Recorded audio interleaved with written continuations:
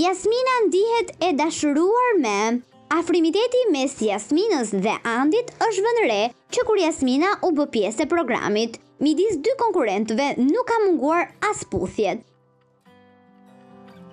Për të ndjekur të gjitha videot që ne publikojmë, ju lutem subscribe.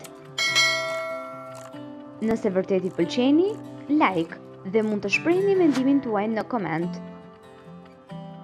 Në një tjetër puntatë të javës së kaluar, para se të diskutonte me Mevlanin, Jasmina çohet dhe papritur puth Andin. Ndërsa mbrëm, ishte Andi që i dhuroi puthje në buzë dhe më pas një orë Me rërë, Jasminës, sot në një story në Instagram teksa tregonte disa produkte Jasmina shkruan, Ngaqë u dashurova, kam harruar ta ndaj me ju. Sorry. Mbetet për t'u parë në vazhdim sa e vërtetë është kjo deklaratë e saj dhe nëse çifti do të dalë së bashku nga emisioni.